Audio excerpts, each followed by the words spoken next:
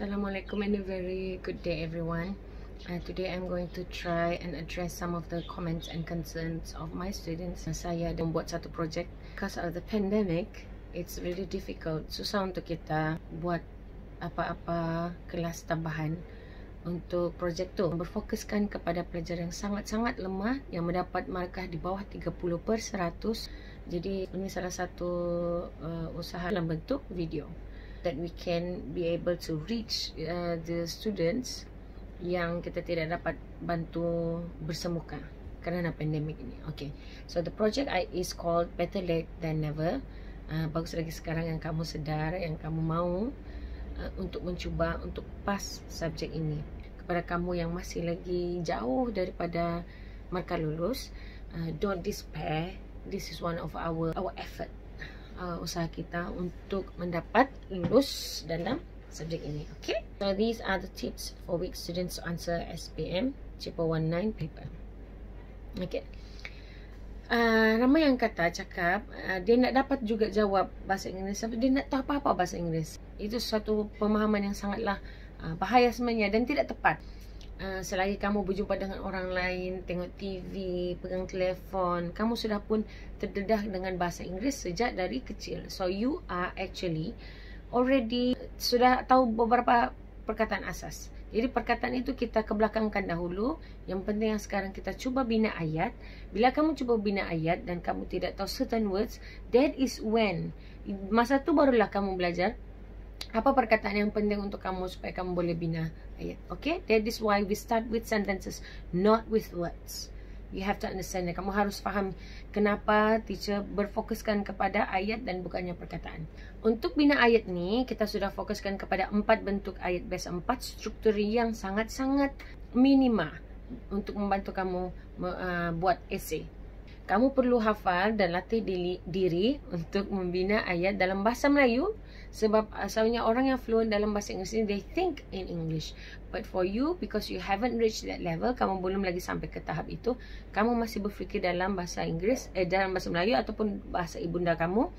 Jadi kamu perlu uh, latih diri kamu untuk kekangkan fikiran kamu hanya dalam ben empat bentuk ayat ni. Jadi kalau kamu berfikir untuk bina esei kamu fikir dalam bahasa Melayu tak, tak apa. Yang pentingnya kekangkan dalam hanya empat struktur ayat ini. The first one ialah terdapat. Uh, ramai belajar teacher bila dia cuba bina ayat kan. Dia akan tanya teacher apa perkataan ada dalam bahasa Inggeris. Because they want to say that. Contohnya. Uh, kamu mau cuba cakap. Uh, ada ada dia di situ. Ada orang tu di situ. Uh, terdapat beberapa sebab kenapa pelajar ponteng sekolah uh, terdapat beberapa orang di dalam kelas. Uh, begitu. Kekangkan dalam fikiran kamu bina ayat ada tu menjadi terdapat boleh bantu kamu dalam bahasa Melayu juga bina esei. Okay, contohnya ada tiga ekor kucing di rumahnya. Okay, so in English there are three cats outside of his house. Perkataan there dahulu T H E R E kemudian diikuti oleh yang to be verb. Ingat yang lima tu M is was were. Kita punya nota di dalam kelas kan? there diikuti, diikuti oleh to be verb kemudian uh, apa perkara yang kamu macam eh, ada apa? Three cats. Di mana? Outside of his house. It's sangat-sangat yang simple. Okay? Contoh seterusnya terdapat beberapa sebab mengapa pelajar penting sekolah. Ingat mula dengan there kita guna are daripada M is a was were to are a few reasons beberapa sebab why mengapa students skip school. Sudah, senang kan? Simple saja.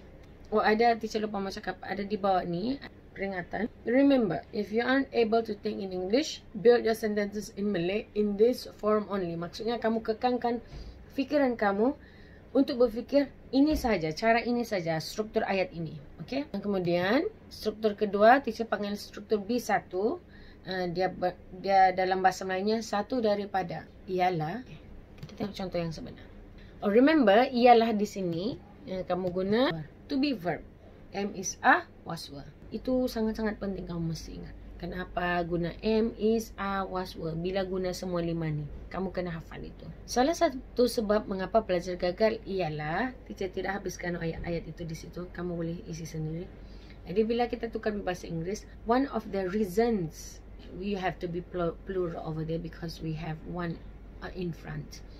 One of the reasons why students fail is contoh kedua sebab pertama mengapa pelajar gagal ialah si ada uh, maksud yang sama tapi strukturnya sedikit berbeza. Satu tadi salah satu sebab, yang ini sebab pertama. So when you change it into English, the first reason why students fail is jadi kamu hafal struktur ayat ni dalam otak kamu. Bila kamu guna selalu kan, it will come naturally naturally to you. Kamu akan makin senang untuk keluarkan dia apa? Bila kamu sudah biasakan diri kan? Hmm. Ya, struktur yang ketiga pula B2, teacher panggil B2 sebab B1 dan B2 hampir sama sebab dia guna kata nama di depan kemudian ada to be verb di belakang. Ialah. Ialah ingat in English ialah to be verb. Fazli ialah seorang sembui. Kan kamu cakap Fazli sembui. Teacher macam mana buat ayat Fazli sembui? Kalau dalam bahasa Melayu sebenarnya Fazli ialah seorang yang sembui. Sembui actually means handsome bah. Eh, kacak bilang. Jadi when you, we translate it into English, kamu selalu akan cakap Fazli handsome, titik. Which is wrong bila ada kata nama dan penerangan di belakangnya, di tengah-tengah mesti ada to be verb. Banyak kali kita cakap begini. Fazli is, kalau mau letak juga sembui di belakang tu ada boy di belakang itu. Kamu boleh tulis, Fazli is a handsome boy. Okay? Uh, contoh kedua, mereka gembira uh, bermain. Contohlah, mereka gembira di sana. Mereka sedih apabila bla bla bla. Ingat, mereka tu ialah kata nama. Kata ganti diri, they. Lepas tu kamu mau letak gembira apa? Happy tengah-tengah kata nama penerangan tengah-tengah ada to be verb begitu ya. Okay, the last one is C1. Actually we have C2 and C3 as well. C4, C5 kita akan sambunglah tapi first is C1. My boy. C1 ialah kata nama berjumpa dengan kata kerja kemudian berjumpa dengan asli bibam. Ingat ini ialah projek baca tu lah hari tu. Okay. Kita tengok contoh. Rahman pergi ke kedai. Itu je. Buat ayat kamu sependek yang boleh. Kemudian tukar dengan bahasa Inggeris lebih senang untuk kamu. Okay. Rahman pergi is kata kerja. Go. Tapi past tense-nya ialah went. Rahman went ke mana? To the shop. Begitu ya. Macam baca tu lah hari tu. Mariam berjalan sendiri. Mari Marian pula. Maryam berjalan walk sendiri dalam Inggeris alone. Bila kamu macam contoh lah kan, kamu minta ayat, Maryam berjalan sendiri. Teacher, apa itu berjalan dalam bahasa Inggeris? Masa tu barulah kamu tahu yang kamu perlukan perkataan berjalan itu untuk bina ayat tu. Jadi kamu akan guna itu dengan bermakna bah. Ha, itu yang akan lebih membuatkan kamu ingat benda tu. Berbanding kalau kamu hafal siap kata kerja banyak-banyak tapi tidak gunakan. Jadi itu tidak bermakna. Jadi susah untuk kamu simpan dalam long term memory kamu.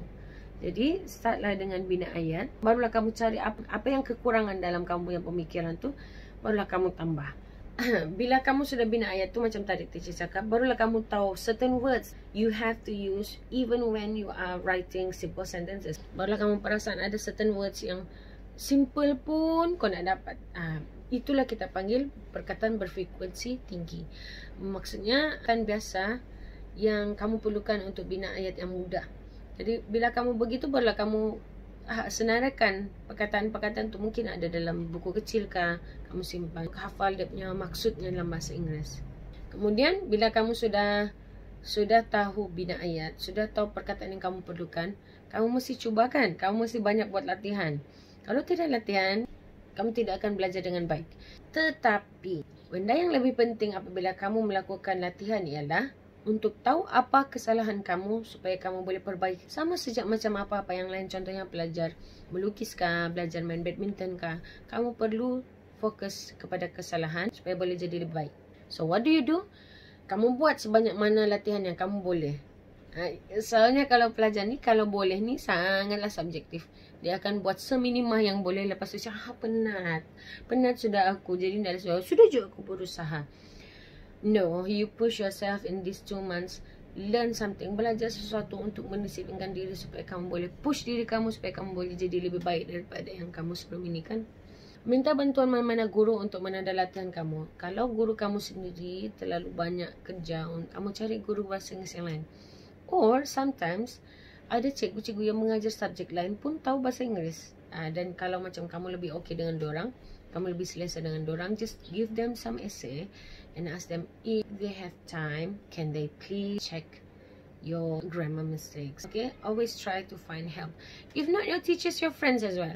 Kalau ada kawan-kawan kamu yang memang score A berhabis kan, kamu boleh tulis something pendek paragraph bagi sama dia aku tolong buat tengokkan kasi tu si aku mana salah begitulah fahami kesalahan tata bahasa kamu supaya kamu dapat memahami peraturan tata bahasa itu secara berkesan remember like I said bila kamu salah dan kamu perbaiki satu dua cara ni lebih berkesan apabila belajar berbanding menghafal saja okay How to apply these four sentence structures in my essay? Gunakan soalan-soalan essay kertas satu bahagian A dan B, both of them, untuk melatih diri anda membina ayat menggunakan struktur ayat yang dipelajari hari ini. Remember, kekalkan fikiran kamu ke dalam uh, empat struktur ayat ini saja apabila kamu membina ayat.